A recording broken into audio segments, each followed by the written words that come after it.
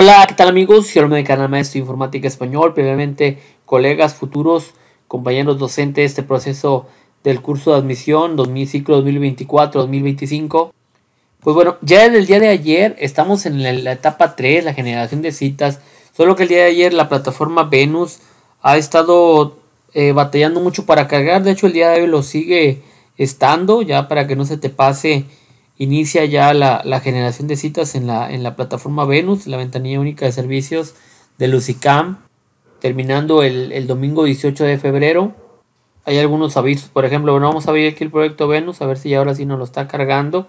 Toda la mañana he intentado entrar y me había aparecido esto. Sí, eh, la, bueno, yo lo que hice fue darle aquí como viste, proyecto Venus, y ahora al parecer sí, sí entró colocamos los datos, estoy eh, tapando por motivo de seguridad, le damos en iniciar. Y sí, toda la semana llevaba insistiendo y, no me había dejado ingresar, ahora sí ya deja la generación de cita. Hay un importante aviso ahí en la, en la plataforma, en la página de Lucicam, que en los horarios de la generación de citas eh, será el horario del servicio del Venus, o sea, básicamente todo el día, pero a excepción de Coahuila, que es el horario de apertura de 9 a 4 de la tarde, Estado de México, a las, a las 6 de la tarde, en Querétaro a las 10 de la mañana, Guanajuato 9, 2 eh, de la tarde y 6 de la tarde y Puebla 9 horas. Y bueno, algunos tienen restricciones hasta que termine el aforo, hasta que termine la cantidad de citas que se van a dar, o hasta cierta hora como en Querétaro que es a las 5 de la tarde y en Puebla que es a las 3 de la tarde para que lo tomes en cuenta si vives en alguno de estos cinco estados.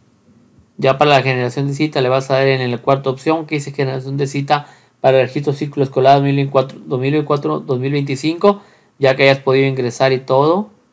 Te vuelve a solicitar la, eh, lo que es la CURP y la contraseña y, y, pues verificar aquí la captacha de que no es robó, le hacen ingresar.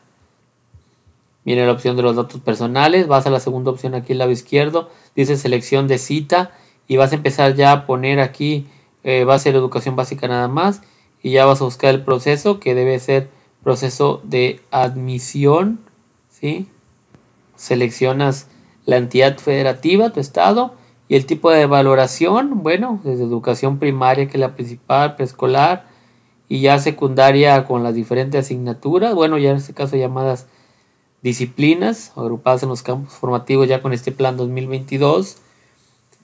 Y bueno, pero bueno, aquí siguen apareciendo así separados, español, formación cívica y ética, geografía, inglés, historia, matemáticas y bueno, las diferentes tecnologías. Ya eliges tú la que en la que te vayas a eh, registrar, muy probablemente primaria, preescolar o secundaria en alguna asignatura, depende de tu carrera. Te va a pedir el, eh, el día. Por ejemplo, hay muchos días que ya aparecen sin disponibilidad porque obviamente mucha gente ya se registró. Y bueno, te aparece algún día nada más, el horario, lo seleccionas, aquí se aparece como en color amarillo seleccionado y le hacen seleccionar. Te abre esta ventana y tienes que poner aquí la palabra aceptar.